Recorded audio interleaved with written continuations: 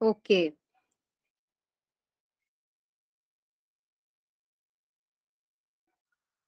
So mark your attendance fast.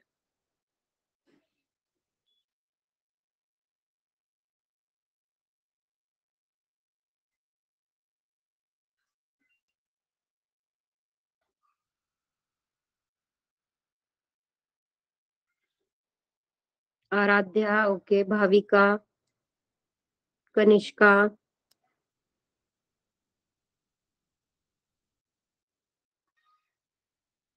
Only two students from third standard. Three students, okay.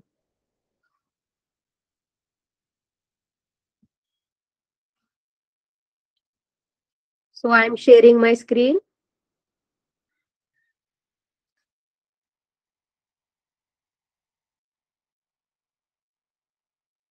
Is it visible Yes, teacher.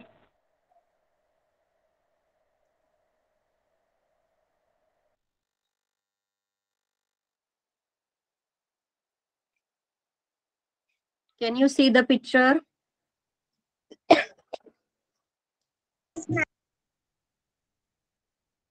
voice clear आहे ना माझा आवाज येतोय सगळ्यांना Yes, teacher. Okay, thank you. What are this childrens doing? इथे काय दिसत आहेत आपल्याला काही ऍक्टिव्हिटीज दिसत आहेत याच्यामधले चिल्ड्रन जे आहेत छोटी मुलं आहेत तुमच्यासारखी ती काय करतायत काही ना काही ऍक्टिव्हिटीज करतायत तर ते काय काय ऍक्टिव्हिटी करतायत बघा बरं which parts of their body they are using are they using म्हणजे बॉडीचे कोणते पार्ट्स ते यूज करतायत? कोणते बॉडी पार्ट्स म्हणजे आपल्या शरीराचे कोणते अवयव ते यूज करतायत? ते आपल्याला बघायचे. तर फर्स्ट ऍक्शनमध्ये तो मुलगा काय करतोय? कनिष्का सांग मुलगा काय करतोय तो?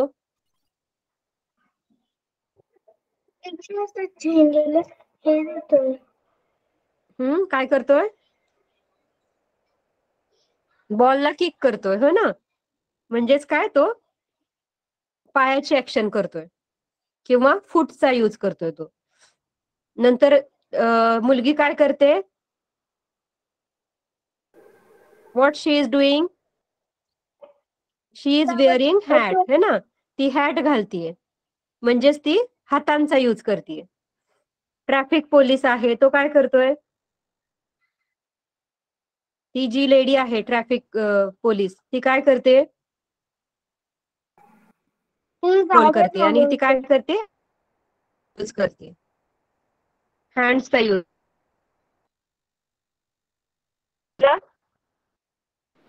यूज करते.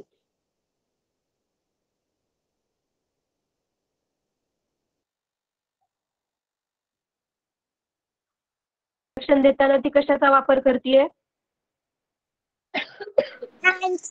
हातांचा. करेक्ट त्याच्यानंतर कंडक्टर कशाचा यूज करतोय? हातांचा यूज करून तो तिकीट करतोय किंवा बेल देतोय है ना? तिकीट देतोय लोकांना आणि बेल पण वाजवतोय. म्हणजे या सगळ्यामध्ये हाताचा आणि पायाचा वापर होतोय. Point out the point out the parts of the body name below आता आपल्याला खाली काही अवयवांची नावे दिलेली आहे तर ती ओळखायची आहेत आपल्याला. फोर हेड म्हणजे काय? कपाळ. करेक्ट चीक चीक म्हणजे काय? हनुवटी नाही चीन चीन म्हणजे हनुवटी असते. चीक म्हणजे आपले गाल. सॉरी हा मला माझी तब्येत बरी नाहीये. खोकला येतो नोज म्हणजे काय? नोज आणि इयर. तर माहितीये सगळ्यांना.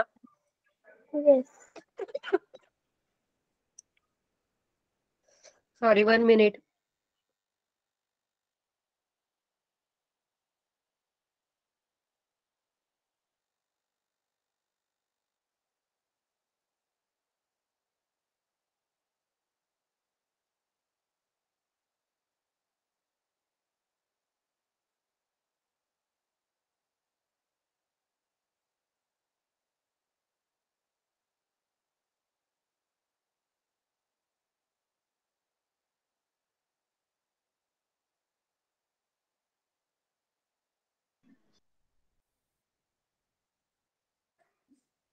टमी म्हणजे काय?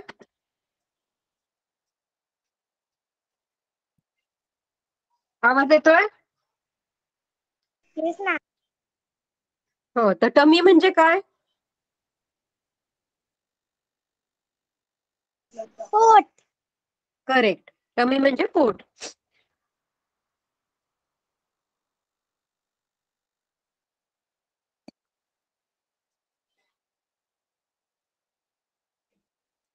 त्याच्यानंतर आ चेस्ट. चेस्ट म्हणजे आपली छाती. हो ना? पोटाच्या वरती जो असतो छाती लंग्स लंग्स जिथे असतात आपले त्याला बोलतात चेस्ट म्हणजे छाती. म्हणजे मानेच्या खाली आणि पोटाच्या वरचा भाग. त्याच्यानंतर आर्म आर्म्स म्हणजे हात आपले. रिस्ट म्हणजे जिथे आपण वॉच घालतो ना त्याला बोलतात रिस्ट म्हणजे मनगट. म्हणजे जिथे आपण घड्याळ घालतो. त्याला बोलतात रिस्ट वॉच आणि त्या घड्याळाला पण बोलतात रिस्ट वॉच रिस्ट वॉच म्हणजे काय? रिस्ट वर घालायचं असतं ते म्हणून. तिथे बोलतात रिस्ट पाम पाम म्हणजे काय? तळ हात है ना? तळ हात समजतात ना सगळ्यांना? जिथे मेहंदी काढतो. गर्ल्स मेहंदी काढतात. त्याला काय बोलतात? पाम थाय थाय म्हणजे काय? मांडी. थाईज म्हणजे आपल्या मांड्या. नी म्हणजे गुडघे. आणि फूट म्हणजे आपले तळपाय ज्याने आपण वॉक करतो. जो पाय आपला जमिनीवरती ठेवतो जो भाग आपल्या बॉडीचा आपण जमिनीवर पडतो आपला त्याला बोलतात फूट म्हणजेच पाय तळपाय स्ट्रक्चर ऑफ द बॉडी म्हणजे आपल्या बॉडीचं स्ट्रक्चर कसं असतं ते बघायचं आपल्याला. The head torso arms and leg आपल्या बॉडीमध्ये काय काय असतं? हेड असतं डोकं असतं. त्याच्यानंतर टॉर्सो म्हणजे धड. धड म्हणजे काय? डोक्याच्या खालची जी पूर्ण बॉडी असते याच्यापर्यंत कमरेपर्यंत त्याला बोलतात धड. त्याच्यानंतर आर्म्स अँड लेग्स म्हणजे हात आणि पाय. हात पाय आणि डोक्याच्या मधला जो भाग असतो त्याला बोलतात टॉर्सो म्हणजेच धड. Are the main parts of the body हे आपले मेन पार्ट्स आहेत. Head torso arms and legs त्याच्यानंतर head arms and legs are joint to the torso आणि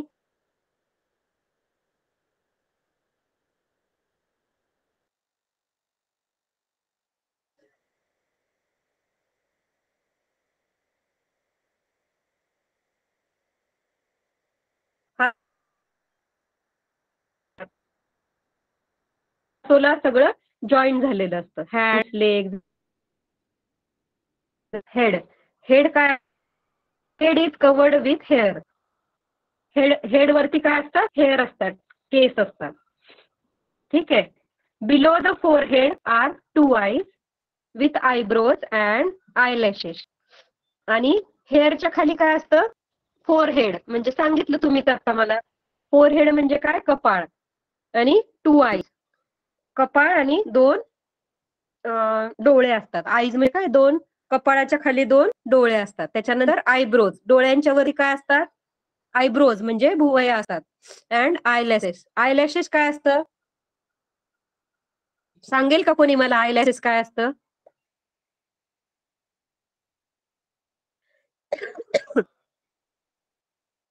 आयलॅशेस म्हणजे पापण्या. म्हणजे डोळ्याच्या वरती जे केस असतात आपल्याला डोळ्यांवरती जे केस असतात वरती आणि खाली त्याला काय बोलतात? आय लॅशेस चित्रात दिसतात बघा डोळे त्याच्या बाजूने केस आल्यासारखे दिसतात ना डोळ्यांच्या बाजूने त्याला काय बोलतात? आय लॅशेस जिथे मेकअप करतात. गर्ल्स मेकअप करतात तिथे. है ना? तर त्याला काय बोलतात? Eyelashes on the sides are the ears आणि साईडला काय असतात? दोन कान असतात. तर कोणते कोणते बॉडी पार्ट्स पाहिले आपण?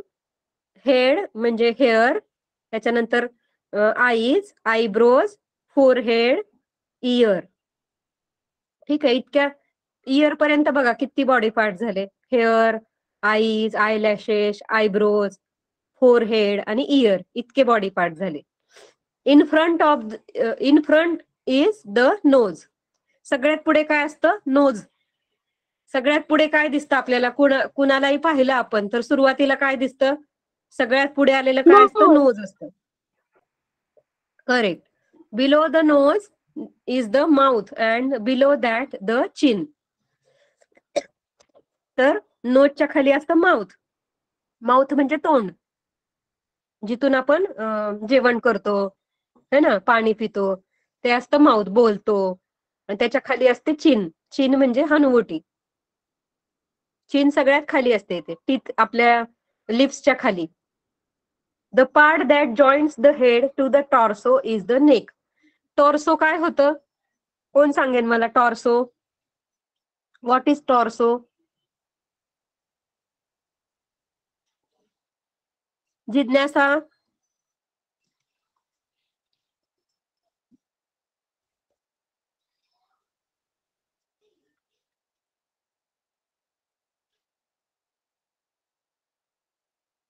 टॉर्सो सांगितलं ना मी आताच मराठीत सांगा.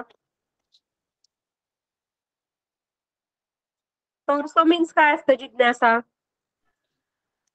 पियुष तू सांग.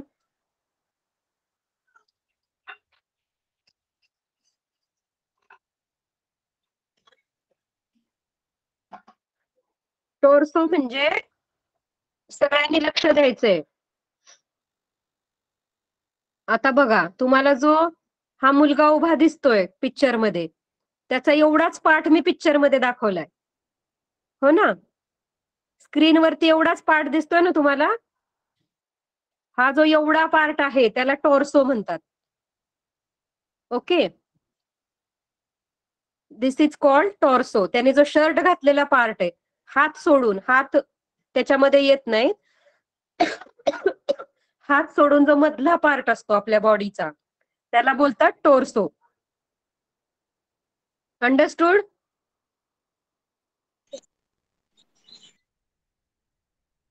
समजलं का? टॉर्सो म्हणजे काय?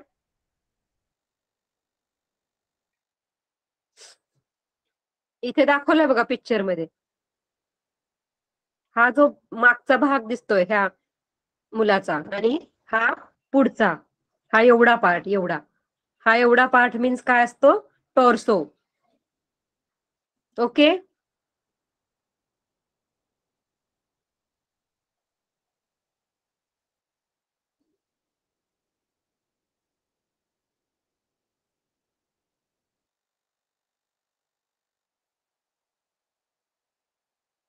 join the head. आणि खालचा टॉर्सो त्याच्यामध्ये जो असतं ते काय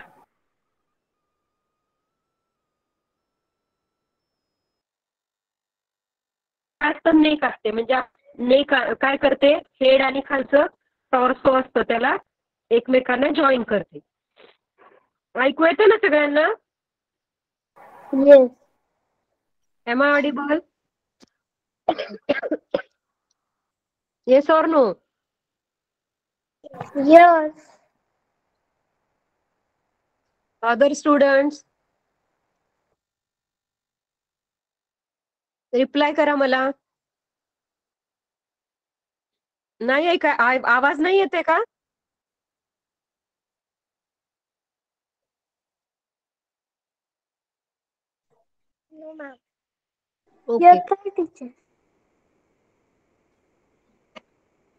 वन मिनिट हा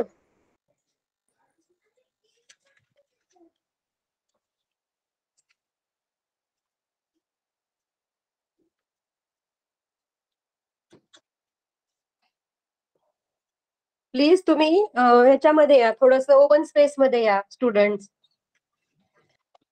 विंडो किंवा डोअर्स ओपन करा. म्हणजे तुम्हाला प्रॉपर नेटवर्क येईल.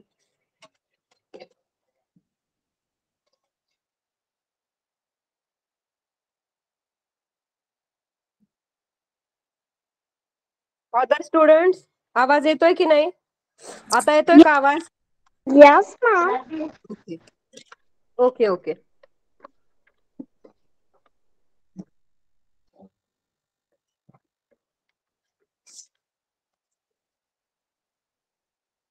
Okay. आता आपल्याला टॉर्सो लर्न करायचंय. हेड लर्न केलं आपण. आता टॉर्सो म्हणजे काय? The chest abdomen and back together makeup the torso. तर टोर्सो मध्ये काय काय असतं? चेस्ट. चेस्ट म्हणजे छाती. ऍबडोमेन म्हणजे पोटाचा जो भाग असतो पूर्ण छातीच्या खालचा. त्याला बोलतात ऍबडोमेन हे बघा इथे. चेस्ट म्हणजे छाती. C H E S T chest. Abdomen abdomen म्हणजे पोट आणि थ्रोट थ्रोट म्हणजे घसा. घशाच्या खालचा भाग. आणि इकडे बॅक म्हणजे पाठ आपली. ह्या सगळ्याला काय बोलतात? Torso. The part where the arm is join to the torso is called shoulder हात आणि टोर्सो जिथे जॉईन होतो त्याला काय बोलतात? शोल्डर खांदा. खांदा म्हणजे काय? आपला टोर्सो म्हणजे हात जिथून स्टार्ट होतो आपला. आपल्या टॉर्सो पासून जिथून हात निघतो है ना? हात जिथून स्टार्ट होतो त्याला बोलतात शोल्डर म्हणजे खांदा. The leg is join to the torso at the hip joint आणि पाय जे असतात आपले टोर्सोच्या खाली आपले काय असतात? पाय असतात. टोर्सो आणि पायाला जो भाग जोडला जातो त्याला काय बोलतात? हिप जॉईंट हिप जॉईंट म्हणजे काय? खुबा. मराठीमध्ये बोलतात खुबा. म्हणजे हा जो एरिया आहे पॅन्ट घातली ना त्या मुलाने तर ते तिथे काय असतो आपला? हिप जॉईंट म्हणजेच खुबा असतो.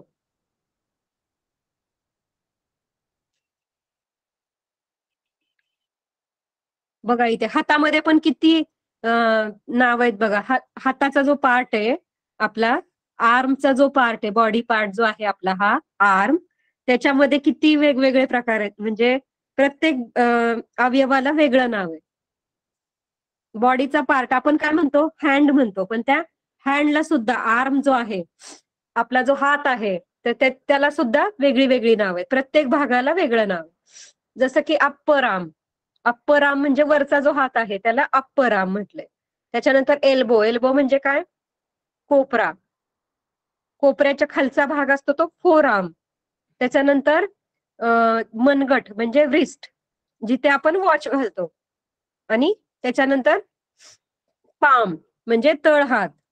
त्याच्यानंतर हँड पूर्ण जो हात आहे त्याला हँड बोलतात.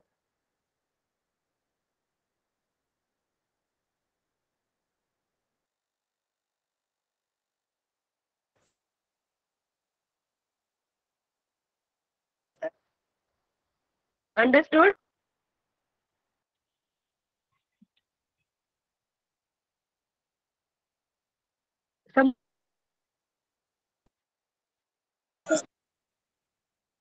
ओके रीड आर्म आणि आर्मचा पार्ट रीड करायचा आहे.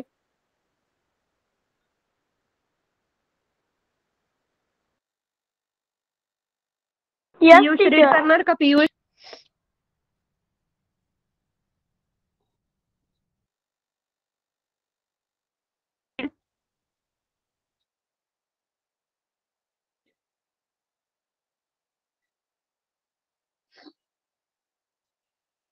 आर्म आर्मचा पार्ट रीड कर. आर्मच्या पुढे काय लिहिलंय?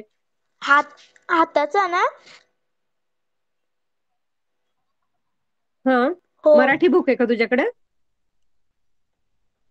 ओके मराठीतून रीड कर मग. दंड अग्रबाहू आणि पंजा असे हाताचे तीन भाग पड पडतात. अग्रबाहू म्हणजे? Okay. Okay wait wait wait. तर फोर म्हणजे काय? अग्रबाहू. इथे चित्रामध्ये दिसतंय ना खाली? तर ते काय आहे? अग्रबाहू. ठीक आहे. दंड म्हणजे खांदा वरती. ठीक आहे. सॉरी दंड म्हणजे अपराम. अपराम जिथे दिसे इथे चित्रामध्ये ते म्हणजे काय? दंड आहे. ठीक आहे रीड कर.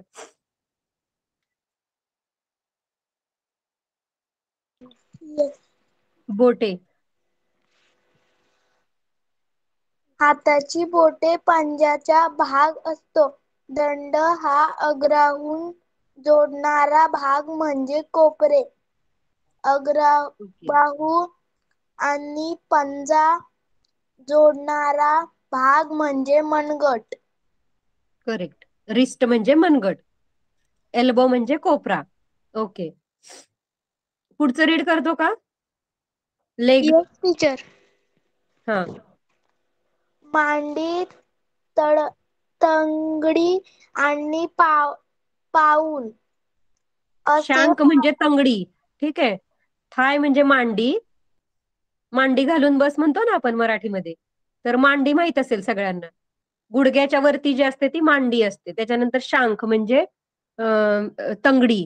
म्हणजे हा जो मधला भाग असतो त्याला तंगडी म्हणतात.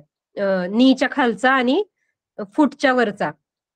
शांक. आणि खाली असतो तो फूट ज्याने आपण चालतो तो असतो फूट. Okay next. असे पायाचे तीन भाग पडतात. तंगडी म्हणजे गुडघ्यापासून घोट्यापर्यंतचा भाग. पायाची बोटे पाल पावलाचा भाग अस असतात. मांडी आणि तंगडी जोडणारा भाग म्हणजे गुडगा तंगडी आणि पाऊल जोडणारा भाग म्हणजे घोटा. ओके. ओके छान. तर थाय म्हणजे काय? मांडी. ते वरती दिसतंय सगळ्यांना thigh. T H I G H thigh. Thigh म्हणजे मांडी. नी म्हणजे गुडगा गुडगा म्हणजे काय? नी. ठीक आहे? गुडगा माहितीये सगळ्यांना पडता तुम्ही त्यावेळेला मोस्टली काय कुठे हर्ट होतो तुम्हाला गुडघ्याला गुडघ्याला लागतो है ना? म्हणजेच काय? नी शांक. नीच्या खाली काय आहे? शांक म्हणजे तंगडी. त्याच्याखाली आहे अँकल अँकल म्हणजे घोटा. म्हणजे असा एक वरती आलेला भाग असतो ना गोटीसारखा. असा कडक असा भाग असतो आपल्या पायाजवळ. पायाच्या बाजूला हात लावल्यावर आपल्याला समजतं. तुम्ही तुमच्या पायाला हात लावून बघा. तळपायाच्या वरती काय आहे? घोटा आहे. कडक असा भाग लागतो आपल्याला. तो कसा टच करायला कसा असतो? थोडासा हार्ड असतो. त्याच्यानंतर टोज म्हणजे पायाची बोटं असतात त्याला टोज म्हणतात. आणि फूट तळपाय. तळपाय म्हणजे फूट ज्याने आपण जमिनीवर पाय ठेवतो तो भाग काय असतो? फूट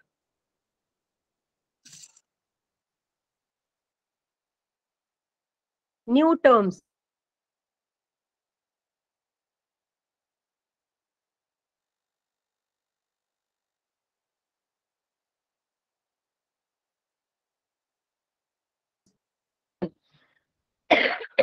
ऑर्गन म्हणजे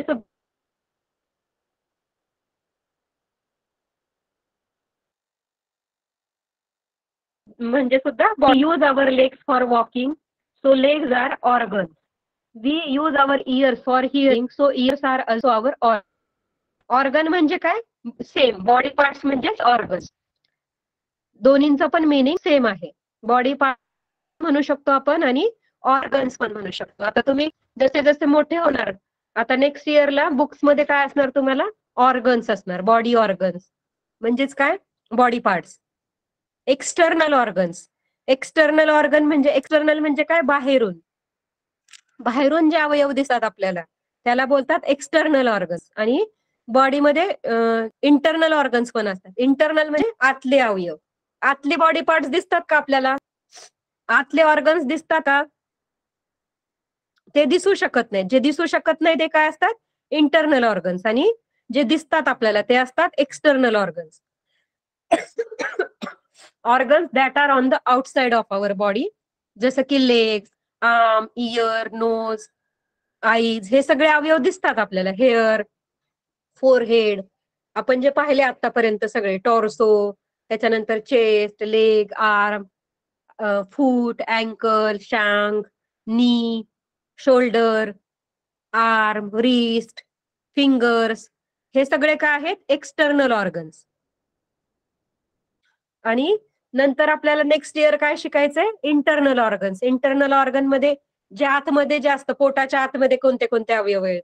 त्याच्यानंतर आपल्या छातीच्या आतमध्ये आपला ब्रेन कुठे आहे? ब्रेन दिसतो का वरून आपल्याला? वरून नाही दिसू शकत. हेडच्या आतमध्ये ब्रेन. तर हे सगळे इंटरनल ऑर्गन असतात.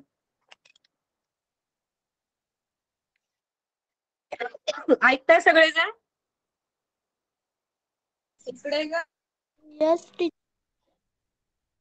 समजलं?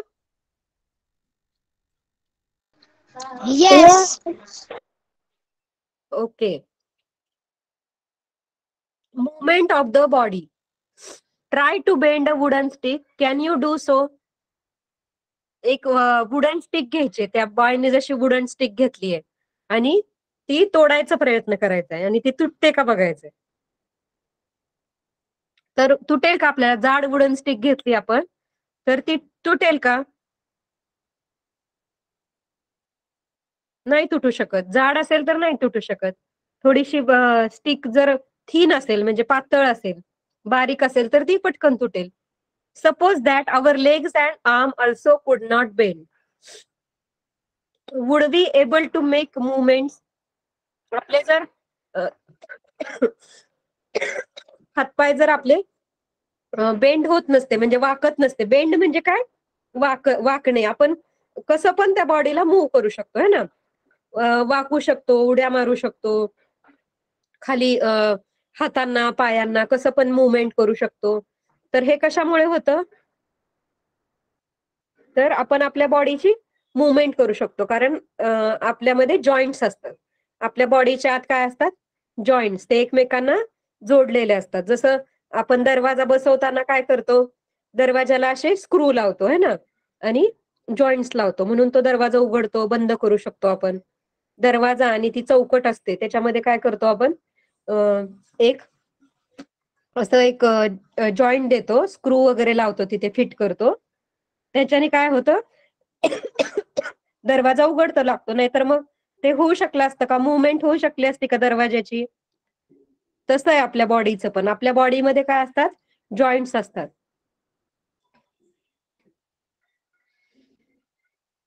Which parts of our body can we bend कोणते कोणते पार्ट्स बेंड करू शकतो आपण?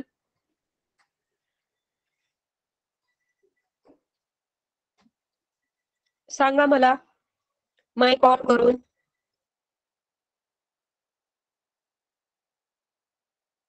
बॉडीचे कोणते पार्ट्स मूव्ह करतायत बघा.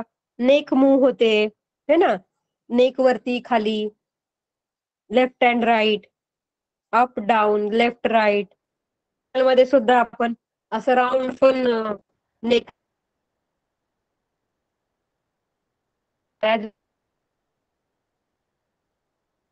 मागे. It turns left and left right सुद्धा टर्न होते. आणि also bends left or right turn पण होते आणि बेंड पण होते. राईटला ठीक आहे? त्याच्यानंतर आर्म आर्म सुद्धा आपण मूव्ह करू शकतो. आपल्याला जसे पाहिजे तसे अप डाऊन लेफ्ट राईट सर्कलमध्ये हात राऊंड फिरवू शकतो. लेग सुद्धा आपण सॉरी लेग सुद्धा आपण फिरवू शकतो. ठीक आहे? लेग सुद्धा मूव्ह करू शकतो. आपण रनिंग करू शकतो जम्प करतो स्किपिंग रोप करू शकतो. त्याच्यानंतर तो जो माणूस आहे तो काहीतरी बनवतोय. काय करतोय तो? सुरीला धार लावतोय. आणि तो काय करतोय? सायकलचं जे व्हील आहे ते फिरवतोय. तर ते कशामुळे होतंय?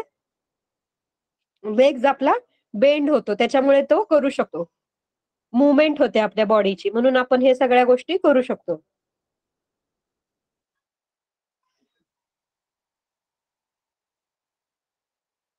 वेस्ट इथे दिले वेस्ट. वेस्टने काय करू? आपण कमरेतून वागतो खाली है ना? बॉल पडलाय खाली. आणि ती मुलगी खाली वागते ती कुठून वागते कशामुळे वागते? वेस्टमध्ये वेस्टमध्ये जॉईन आहे आपल्या. तर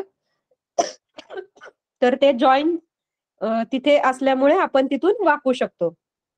आपली बॉडी जर स्ट्रेट असती त्याच्यामध्ये जॉईंट नसते तर आपण फक्त आपल्याला स्ट्रेटच उभं राहता आलं असतं. आपल्याला बेंड होता आलं नसतं इकडे तिकडे बघता आलं नसतं काहीच करता आलं नसतं.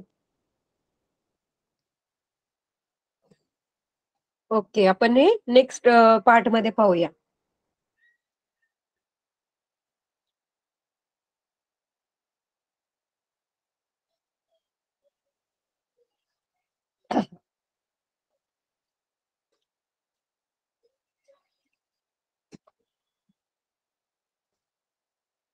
ओके नेक्स्ट काय आपल्याला पाहायचंय? फोर्थ स्टँडर्ड स्टुडंट्स आहेत का? Yes teacher Bhavika. Okay Bhavika Aradhya. अजून कोण आहे? आराध्या आणि भाविका दोघीच दिसत आहेत दोनच स्टुडंट आहेत का? फोर्थचे yes teacher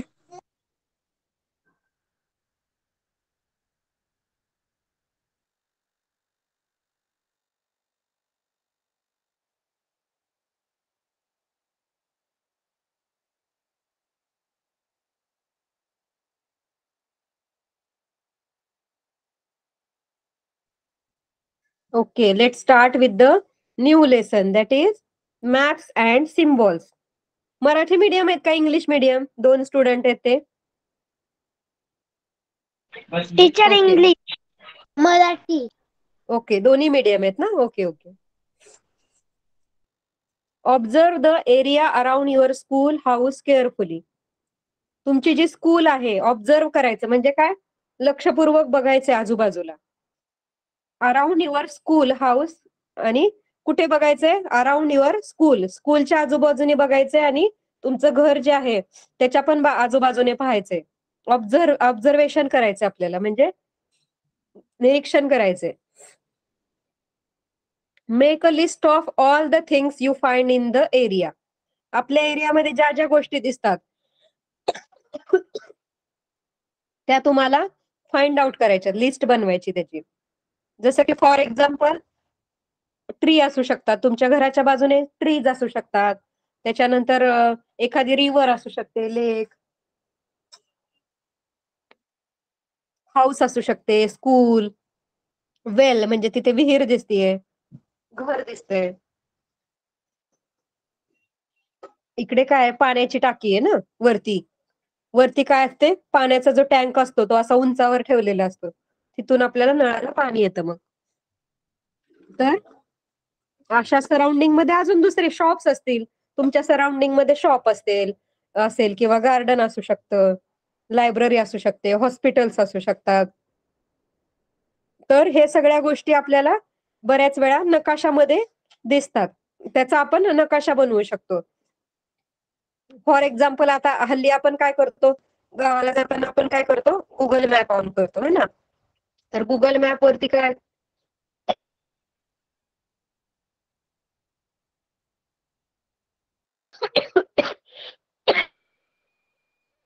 दिशादर्शक म्हणजे आपल्याला दाखवतो कुठे जायचंय कुठे कुठे पोहायचंय तिथे आपण बरोबर बरोबर तिथे जाऊन पोहोचतो आपण. त्या जर नकाशानुसार आपण जर गाडी ड्राईव्ह केली आपण जर ड्रायव्हिंग केलं तर ऑटोमॅटिक जागेवरती जाऊन पोहोचतो. तर त्या गुगल मॅपवर सुद्धा पिक्चर जर पाहिला रे गुगल मॅपचं तुम्ही तर त्याच्यावरती छोटे छोटे असे पिक्चर बनवलेले असतात. जिथे हॉटेल तिथे हॉटेल दिसणार तुम्हाला. त्याच्यानंतर हॉस्पिटल असेल तर हॉस्पिटल दिसेल. तुम्ही गुगल मॅप नीट पाहिल्यावर कळेल तुम्हाला. तो सुद्धा एक मॅपच आहे. तर त्याचप्रमाणे बऱ्याचशा बुक्समध्ये आता तुम्ही जॉग्राफी वगैरे शिकणार आता इथून पुढे. तर त्याच्यामध्ये मॅप्स असतात म्हणजे नकाशे असतात छोटे छोटे. तर त्या कुठल्याही भागा भागामध्ये कोणत्या कोणत्या गोष्टी आहेत ते दाखवण्यासाठी नकाशाचा उपयोग केला जातो. जसं की एक असा स्क्वेअर बनवला. आणि तुमच्या घराच्या आजूबाजूला काय आहे असं जर बनवायला सांगितलं तर तुम्ही काय करणार? मध्ये तुमचं घर बनवणार. मग घराच्या इकडच्या बाजूला स्कूल असेल लेफ्ट साईडला स्कूल असेल तर तिकडे स्कूल बनवणार. स्कूलचं पिक्चर ड्रॉ करू शकता. राईट साईडला फॉर एक्झाम्पल गार्डन आहे किंवा ट्रीज आहे तर तसे ट्रीज बनवू शकता. त्याच्यानंतर तुमच्या लक्षात आलं की आपल्या घराच्या मागे एक शॉप आहे. तर तुम्ही शॉप बनवली. त्याच्यानंतर त्या शॉपच्या मागे एक पाण्याची टँक आहे. तर तसं टँक बनवलं. त्याच्यानंतर ह्या दिशेला तुम्हाला असं वाटतंय की माझ्या घराच्या बाजूला हॉस्पिटल आहे. तर हॉस्पिटल बनवलं. तर अशा प्रकारे आपण छोटासा मॅप बनवू शकतो. असे मोठे मोठे मॅप म्हणजे कंट्रीचे आपल्या इंडियाचा मॅप असतो. पाहिला असेल तुम्ही महाराष्ट्राचा मॅप असतो. पाहिलाय सगळ्यांनी? मॅप पाहिला असेल ना? तर असे मॅप्स असतात ज्याच्यातून आपण कुठले म्हणजे कुठलं ठिकाण कुठे लोकेशन आपण फाइंड आउट करू शकतो. There are eight different things in the picture shown above इथे आपल्याला एट थिंग्स दाखवल्यात आठ गोष्टी दाखवल्या some things are man made while others have form naturally manmade म्हणजे काय? माणसाने बनवलेल्या ह्यातल्या काही गोष्टी ज्या आहेत त्या मॅनमेड आहेत. म्हणजे आपण बनवलेल्या आहेत त्या. जसं की स्कूल हॉस्पिटल त्याच्यानंतर पाण्याचा टँक आहे. ते आपण बनवलेले आहेत तर रिव्हर वेल ह्या गोष्टी काय नॅचरल आहेत त्या. नॅचरल आहेत पण काय केलंय आपण त्याला? वेल जे असते त्याला आपण कट्टा बांधलेला आहे बाजूने. ऑलरेडी तिथे पाणी होतं म्हणून ती विहीर खोदली आणि तिथे कट्टा बांधण्यात आला. ती काय आहे? नॅचरल आहे.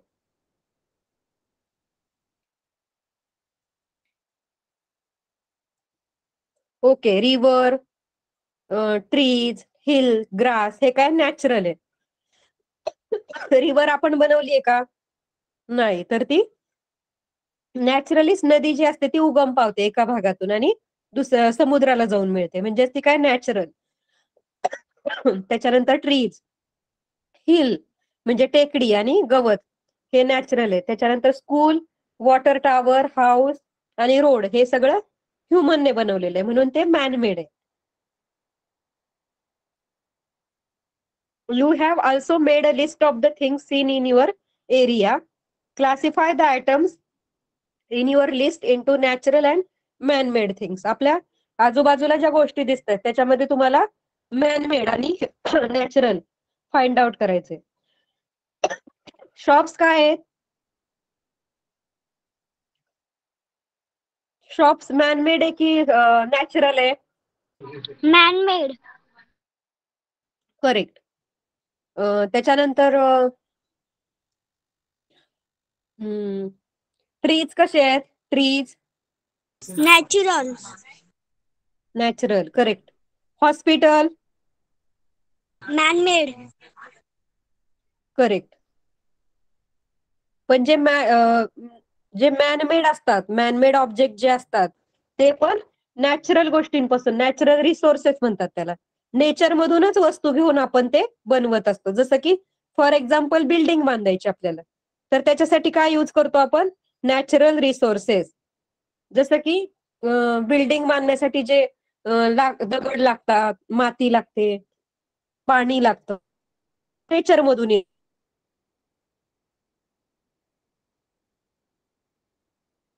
येतं. तर आपण त्या ते लाकूड कुठून येतं? झाडांपासून मिळतं आपल्याला.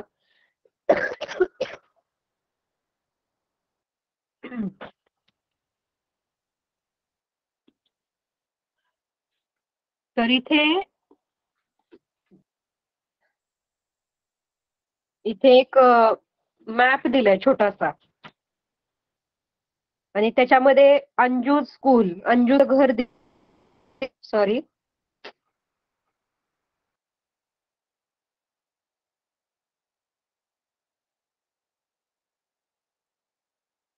अंजू अंजूचं घर कुठे बघा? हे आहे अंजूज हाऊस. हे जे आहे ना कोपऱ्यात असं एक रेक्टँगल शेपचं पिक्चर दिलं आपल्याला.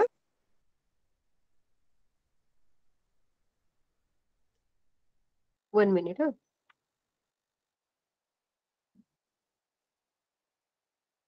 तर रेक्टँगल शेपचं असं पिक्चर दिसतंय.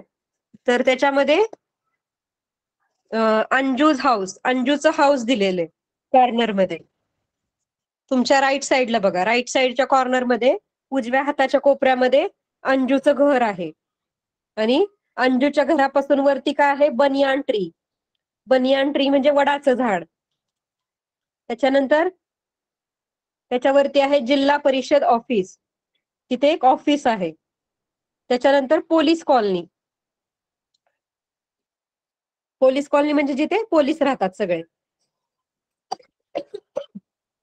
तर त्याच्यानंतर आहे पोलीस चौकी म्हणजे police station bus stop hotel hospital Anju school park.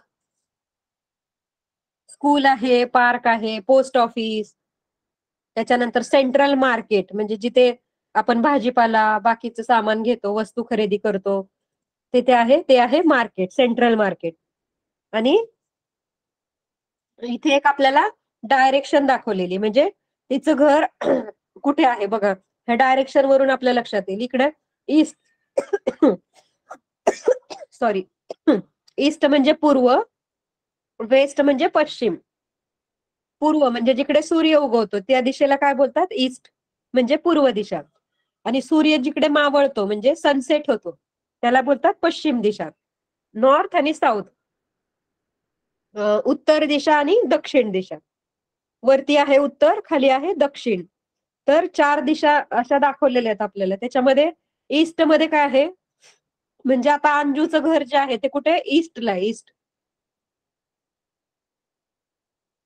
Anju's house कुठे? ईस्ट साइडला आहे. आणि त्याच्या सेंट्रल मार्केट कुठे? वेस्ट साईडला. आणि सगळ्यात वरती काय? Police station. है ना? आपण काय पाहिलं होतं? पोलीस स्टेशन अंजूचं स्कूल त्याच्यानंतर telephone exchange centre police colony हे सगळं काय? नॉर्थ साइडला आहे. आणि खाली पोस्ट ऑफिस स्टॅच्यू हे सगळं साऊथ साईडला आहे. ठीक आहे? जिल्हा परिषद ऑफिस आणि हॉस्पिटल हे ईस्ट वेस्ट साइडला आहे. जिल्हा परिषद ऑफिस ईस्टला आहे. पार्क जे आहे गार्डन ते वेस्टला कळलं का तुम्हाला डायरेक्शन कसं हे करायचं? येस टीचर कुणाला समजलं कुणाला नाही समजलं सांगा. वन मिनिट हा. भाविकाला समजलं का?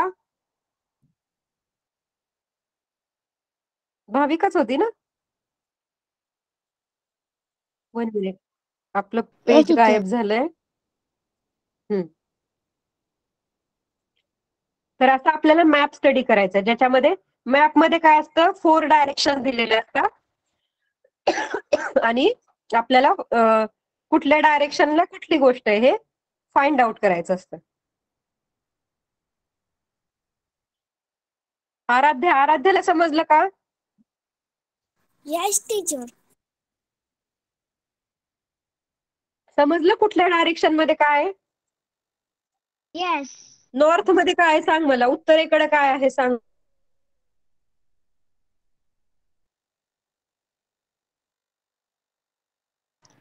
हॉस्पिटल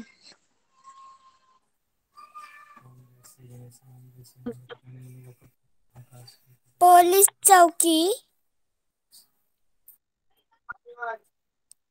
अँड हॉटेल ठीक आहे हॉस्पिटल असू शकते. हा पोलीस चौकी आहे करेक्ट हॉटेल. हा करेक्ट ईस्टला काय आहे? सॉरी खूपच खोकला लागलाय. ईस्टला काय आहे? Anju house statue. Banyan okay correct Anju friend house correct okay okay two minute मी ना म्यूट करते मी पाणी पिते थोडस okay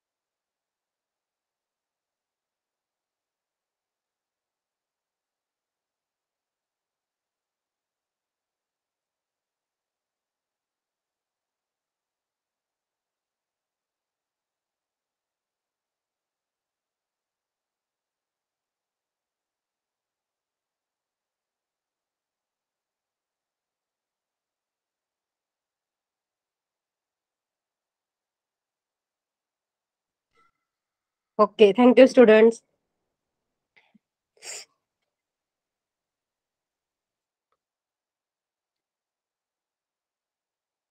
study the sketch and do the following म्हणजे हा जो स्केच दिलाय आपल्याला तो आपल्याला स्टडी करायचा आहे वरती जो होता ना पिक्चर सेम तेच दिलेलं आपल्याला. फक्त इथे काय दिलंय? सिम्बॉल दाखवलेत. पिक्चर न काढता स्कूलचं किंवा ह्याची बिल्डिंग न बनवता त्यांनी काय केलंय? इथे जसं आपल्याला पार्क दाखवलं होतं हॉस्पिटल सगळं ड्रॉ करून दाखवलेलं आहे ना हॉटेल स्कूल हॉस्पिटल सगळ्या बिल्डिंग्स बनवल्या होत्या. तर बिल्डिंग्स न यूज करता त्यांनी काय केलंय? फक्त सिम्बॉल यूज केलेत. जसं की ट्रीजसाठी ग्रीन कलरचे डॉट दिलेत त्याच्यानंतर जिल्हा परिषद ऑफिस अंजूज हाऊस याच्यासाठी छोटे छोटे ब्लॅक कलरचे आरो दिलेत. छोटे छोटे बाण बनवलेत आणि अंजूज हाऊस त्याच्यानंतर ते जे घरं होती छोटी छोटी त्याच्यासाठी त्यांनी काय केलं? ब्लॅक कलरचे बाण बनवले. पोस्ट ऑफिससाठी पिंक कलरचं बनवलंय. बघा हॉटेल रेड कलर आहे. डिस्ट्रिक्ट हॉस्पिटलसाठी ग्रे कलर यूज केलाय. पार्क ग्रीन दाखवलंय. सेंट्रल मार्केट येलो कलर दाखवलाय. स्कूलचा डार्क येलो कलर दाखवलाय. तर असं फक्त कलरचा यूज केला आणि काहीतरी चिन्ह यूज केलेली आहेत त्यांनी. म्हणजेच त्याला काय बोलतात? खुणा. सिम्बॉल्स म्हणजे काय? खुणा यूज केल्यात त्यांनी. काही खुणा अशा दाखवल्यात की ज्याच्यावरून आपण समजून घ्यायचं की हे हे हे ठिकाण आहे हे हॉस्पिटल आहे. Hospital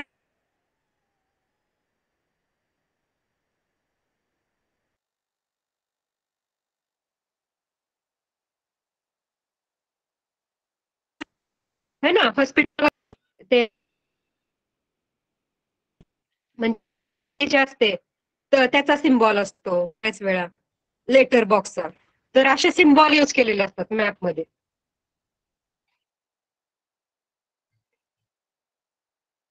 study the sketch and do the following draw the sym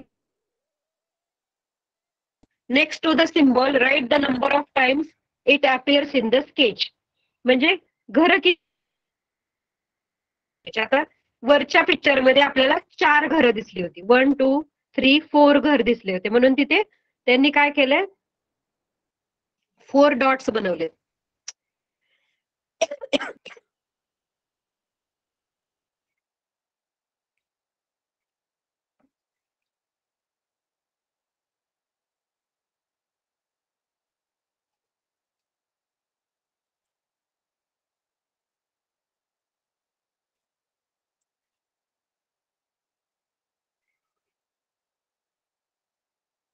त्याच्यानंतर tree repre draw the symbol you to represent tree tree दाखवण्यासाठी काय केलंय?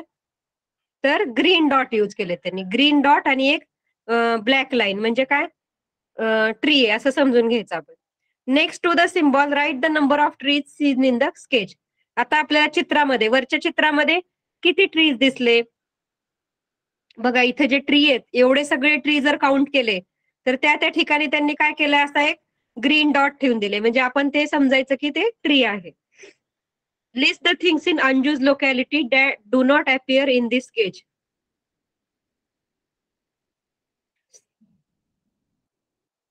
sorry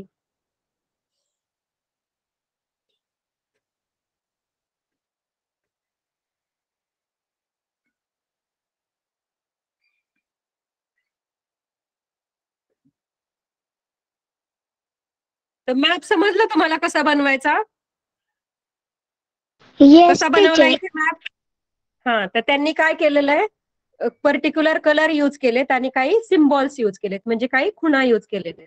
आणि सेम वरती जे पिक्चर होतं ते सेम पिक्चर आपल्याला इथे दिसतंय. फक्त इथे आपल्याला अजून क्लिअर समजते की इथे हॉटेल आहे इथे हॉस्पिटल आहे. म्हणजे सगळं ड्रॉ करत बसायची गरज नाही. आपण फक्त सिम्बॉल दिले का पटकन आपला मॅप तयार होतो. जर प्रत्येक गोष्ट ड्रॉ केली आपण हाताने तर त्याला खूप वेळ लागणार आहे. बिल्डिंग ड्रॉ करायची हॉस्पिटल ड्रॉ करायचं त्याला खूप वेळ लागणार. त्याऐवजी आपण काय करू शकतो? अशा खुणा यूज करू शकतो आणि पटकन आपला मॅप बनवू शकतो आपण.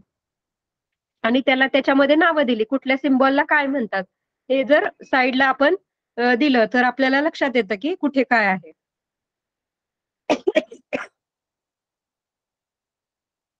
ठीक आहे एवढंच सांगितलं याच्यामध्ये. आता बघा खाली अजून एक मॅप आहे. तोच आहे सेम अंजूच्या अंजूज हाऊसचा जो मॅप आहे तो सेम मॅप आहे.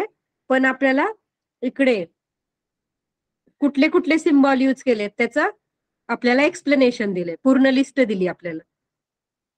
अंजूज हाऊस अँड सराउंडिंग म्हणजे अंजूच्या हाऊसपासून ten metre first five metre आणि नंतर टेन मीटर टेन मीटरचा मॅप बनवलाय त्यांनी. अंजूच्या घरापासून वरती टेन मीटर इकडच्या बाजूला ट्रे टेन मीटर असं डिस्टन्स घेऊन असे असं त्यांनी अंतर घेतलं आणि चारी बाजूनी एक रेक्टँगल ड्रॉ केलं तिच्या घराच्या बाजूनी आणि त्याला काही सिम्बॉल दिले. जसं की बस स्टॉप पिंक दाखवलाय ट्री ग्रीन दाखवलाय कॉलनी जी आहे ती पिंक कलरची दाखवली आहे park green house black arrow दाखवलाय सेंट्रल मार्केट येलो हॉटेल आहे ते रेड दाखवलंय. तर अशा प्रकारे सिम्बॉल यूज केलेले. जेवढे जेवढे आपण वरच्या पिक्चरमध्ये जेवढ्या गोष्टी बघितल्या होत्या प्रत्येकासाठी सिम्बॉल यूज केलाय. जसं statue Zilla Parishad Anju school yellow district hospital grey ice cream parlour triangle शेपचं दाखवलंय. पोस्ट ऑफिस पिंक पोलीस चौकी ब्ल्यू. तर असे सिम्बॉल यूज करून वरचाच मॅप त्यांनी परत बनवलाय.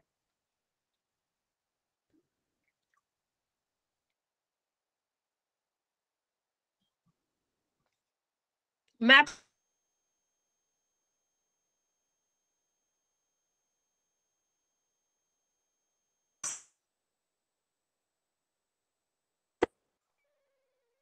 येस टीचर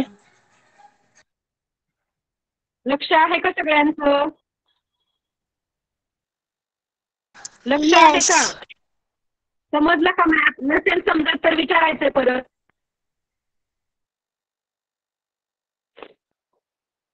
समजलं?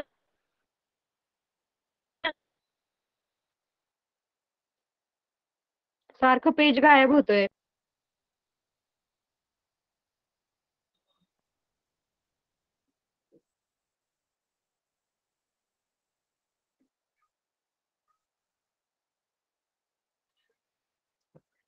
हे बघा हे होतं अन्यूज हाऊस आणि प्रत्येक हाऊस प्रत्येक गोष्टीसाठी त्यांनी काय केलं? इथे जेवढे ऑब्जेक्ट दिसत आहेत त्याच्यासाठी त्यांनी सिम्बॉल यूज केला. आणि सिम्बॉल यूज केल्यानंतर खाली आपल्याला लिस्ट बनवून दिली त्यांनी की कुठल्या सिम्बॉलला कुठला कलर यूज केला कोणता शेप यूज केला त्याचं नाव काय होतं? ह्या सगळ्यासाठी इथे लिस्ट बनवली. मग आपण लिस्टमध्ये वरती ट्री बघू शकतो आणि आपला मॅपमध्ये बघू शकतो की ट्री कुठे कुठे आहेत. त्याच्यानंतर डिस्ट्रिक्ट हॉस्पिटल ग्रे कलरने तिथे बघू शकतो. आणि मग परत मध्ये आपल्याला लक्षात येतं की हे हॉस्पिटल आहे. ग्रे कलर दिलाय म्हणजे हे हॉस्पिटल आहे.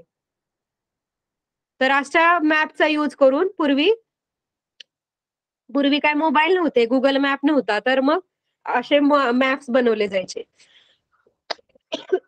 है ना? कुठे एखादा खजाना असेल कुठे पोहोचायचं असेल दुसऱ्या दुसऱ्या कंट्रीमध्ये तर असे पेपरवरती किंवा दगडावरती सुद्धा असे मॅप बनवले जायचे आणि त्या मॅपचा अभ्यास करत करत ते लोक जे होते ते तिथपर्यंत पोहोचायचे. जहाजाने प्रवास करायचे किंवा मग चालत जरी निघाले ते तर त्या मॅपची मदत घेत घेत ते त्या जागेपर्यंत पोहोचत असत.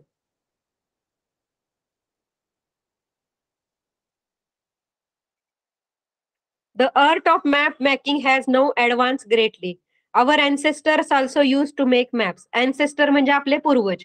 आपले पूर्वज सुद्धा मॅपचा यूज करत होते. They use animal skin bones cowries and clay or stone tablets to make maps मॅपचं map map बनवण्यासाठी ते अॅनिमलचं कातड यूज करायचे स्किन यूज करायचे हाड यूज करायचे कावरीज म्हणजे गाईचे का कातडे किंवा मग क्ले माती किंवा दगड दगडाचा यूज करायचे आणि मॅप बनवायचे. Approximately five thousand years ago there was a civilisation called Mesopotamia पाच हजार वर्षापूर्वीचा सुद्धा एक मॅप आहे तो आजही सापडला आपल्याला. A clay tablet of those days showing some parts of Mesopotamia is shown alongside take a look Mesopotamia नावाचं जे शहर होतं म्हणजे सिटी होती एक त्याचं एक मॅप सापडलंय शास्त्रज्ञांना. ते असं दिसत होतं बघा. ते शहर असं होतं आणि ते किती वर्ष झाली त्याला? फाय थाउजंड इयर्स आहे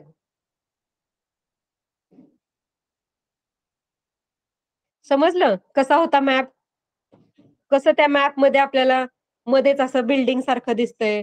तो खूप जुना झाला मॅप आता. पण ते शास्त्रज्ञांना सगळ्या स्टडी असतो. त्यांना समजत असतं की त्या शहरामध्ये काय होतं? कुठे काय होतं? ते शहर कसं बांधलं गेलं होतं ते सगळं त्यांना त्या मॅपमध्ये स्टडी केल्यावर समजतं. तर अशा प्रकारचा मॅप होता. खूप जुना मॅप आहे. त्याच्यातून आपल्या लक्षात आलं की त्यावेळेला सुद्धा मिझोपोटॅमिया नावाचं शहर होतं. आता ते नाहीये. त्यावेळेला होतं. Design simple symbols for the list of natural and manmade object that you prepared earlier you have to make a sketch of your locality on a piece of paper using those symbol तुम्ही काय करायचंय? तुमच्या आजूबाजूचा जो परिसर आहे त्याच्यासाठी symbol बनवायचे खुणा बनवायचे काही काही. आणि तशा प्रकारचा मॅप तयार करायचा आहे first draw roads rivers and railway lines exactly as they are in your locality तुमच्या लोकॅलिटीमध्ये म्हणजे तुमच्या आजूबाजूच्या परिसरामध्ये रोड असेल तर रोड ड्रॉ करायचा आहे नदी रेल्वे असा सिम्बॉल यूज करून त्या थिंग्स ड्रॉ करायच्या. जसं की रिव्हरला तुम्ही अशी हे लाईन असते ना स्नेक सारखी अशी लाईन बनवू शकता. स्नेकच्या शेपची लाईन बनवू शकता. रोडला ग्रे कलरची स्ट्रेट लाईन यूज करू शकता.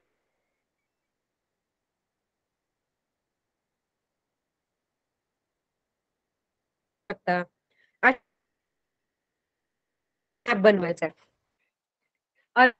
पॅकेज मे युज्ड म्हणजे आता वरती जशी लिस्ट दिली तसं तुम्ही तुमच्या मॅपमध्ये कोणत्या गोष्टींसाठी कोणता कलर वापरला त्याला काय म्हणायचं ते एक list show a compass rose in your map taking account the direction the sun rises in your locality म्हणजे मी तुम्हाला सांगितलं की सनराईज होतो तो ईस्ट असतो. मग east east west north south असं दाखवायचंय तुमच्या मॅपमध्ये तुम्हाला. अँड त्याला नाव काय द्यायचं मॅपला माय लोकॅलिटी म्हणजेच तो काय तयार होईल? तुमच्या घराचा परिसराचा मॅप तयार होईल. त्याला बोलायचं माय लोकॅलिटी तुमच्या लोकॅलिटीचा मॅप तयार होणार मग. ठीक आहे? ते नेक्स्ट वीक बघूया आपण. आपला टाइम झालेला आहे. Bye everyone bye teacher bye read read करायचंय लेसन रिवाइज करायचंय. Bye teacher bye bye teacher bye teacher good night teacher bye good night